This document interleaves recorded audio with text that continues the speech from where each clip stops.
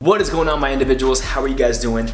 Thank you so much for tuning into today's video. Today I have 11 hairstyles, 11 of the best hairstyles for receding or high hairlines. Now if you're a guy like me, you probably have one of those bad boys. A nice jacked up, good old super duper high hairline. Yeah, and it may seem like everything's just kind of going against you. However, um, I got a few tricks up my sleeve to uh, help you guys out and uh, help you find some really cool hairstyles. Now for me growing up, I would never slick my hair back like I'm doing now just because I used to, you know, I used to be so insecure about it. Now I'm just like, what the hell, who cares? a lot of people have asked me if I'm losing my hair, if I'm receding, but honestly, this hairstyle, this, I mean, this hairline runs in the family, and I've had it since I was about 13 years old. It's never gotten any worse, never gotten any better, so I've just learned how to kind of just live with it, and uh, oh well, you know, I'm blessed with what I have, you know? All right, so let's jump right into this. I got all these hairstyles on my phone right here. So the first one, we have the off-centered comb over.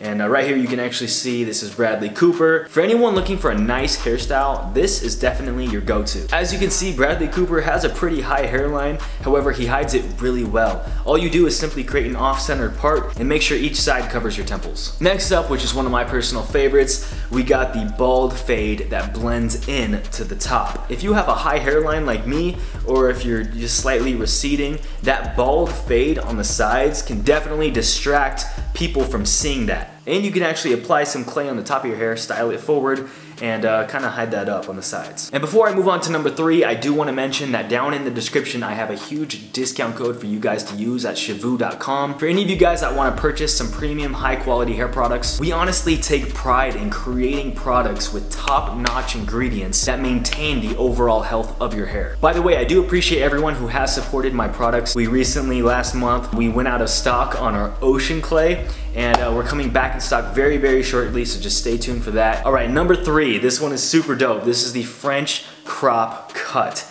It's very modern, uh, so if you wanna rock something up to date, uh, as far as latest trends go, this is something that you're gonna wanna show to your barber. And honestly, it's one of the best hairstyles for hiding your hairline. Which leads me into number four, and that is the messy crop, which my boy, dude, my boy Thomas Shelby from Peaky Blinders, he rocks this. It's very similar to the French crop cut, however, this one's just a little bit more casual looking, just a little bit more messy. You would never even know that his hairline is actually pretty high in real life. So as you can see, the cut that he rocks in Peaky Blinders really hides his hairline and gets the job done perfectly. Number five, the shaggy long hairstyle.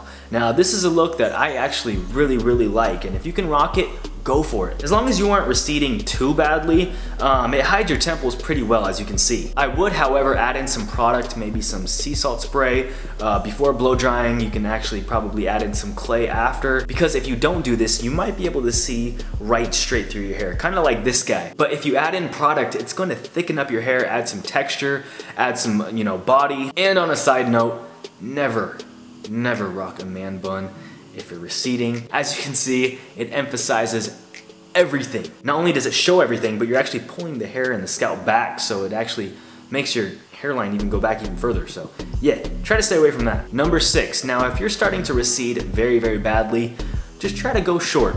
As you can see here, this is a handsome dude, but if this dude was to slick his hair back, it probably wouldn't benefit his looks whatsoever. I know you can't see it too much, but this dude right here, his hairline is receding like crazy, believe it or not. So this is a great, great recommendation. It's got chill vibes and it just looks good. All you would have to do is uh, apply some clay to your hair to create some texture and slightly, you know, move your hair into position over those temples where you are receding. And honestly, you guys, you have to have shorter hair for this because if you have that hair covering your temples, and your hair starts to get really long, it's not gonna stay there anymore because the weight of the hair is gonna start making the hair kind of move around and if wind hits it, your, your hair is gonna come off of your temples and it's just gonna show everything. Number seven, for my dudes with massive receding hair and you practically have a cul-de-sac going on, um, I honestly would suggest just going just going bald man just cleaning it all up. Honestly if you start trying to hide it with a comb over or something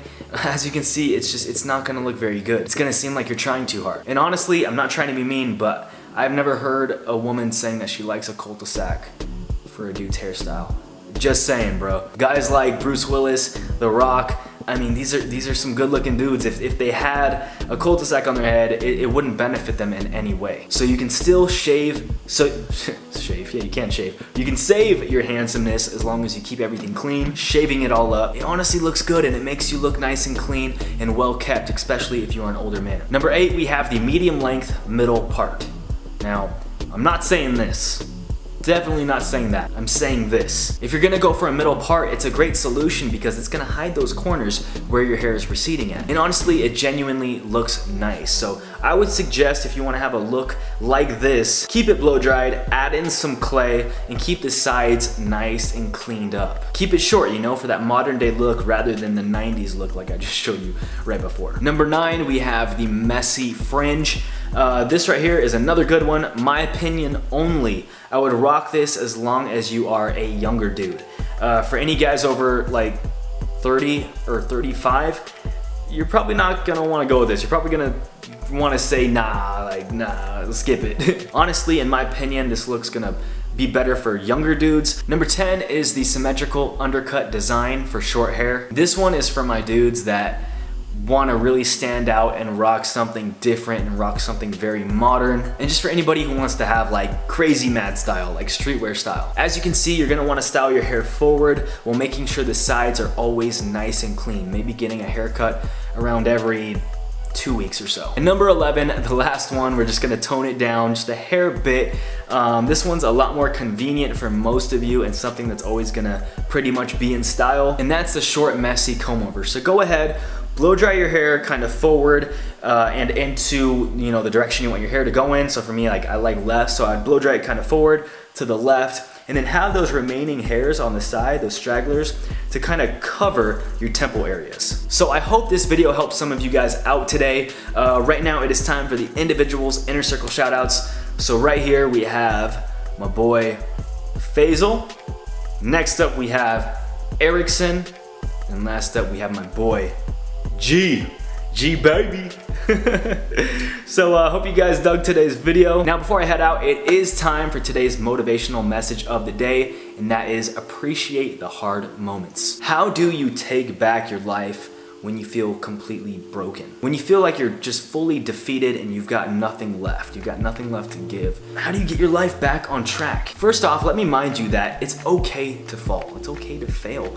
You know, society tells us that it's not okay. Society teaches us to be perfect all the time and act like we have it all together on our on our Instagrams and our Facebooks, you know. And that's why I think we feel broken sometimes is because we're trying to be fixed, we're trying to get fixed. But when you face failures, honestly, these are those precious moments, man. These are those moments that are full of opportunity. Believe it or not, but these are the moments where you can grow the most and you can you can take your life to the next level and become someone who you never thought you could be. Even though it's hard as hell, appreciate those moments. Appreciate that God sometimes allows you to go through these things. He allows you to not just go through them, but to grow through them because pain can always push you to greatness. So before I leave, for anybody that's dealing with this, remember that your struggle is your setup. Hope you guys dug today's video. If you did, please give it a nice big thumbs up, subscribe if you are new, and be sure to hit that notifications button to be informed when I drop some new content. And I will see you all very soon. My name is Dre Drexler.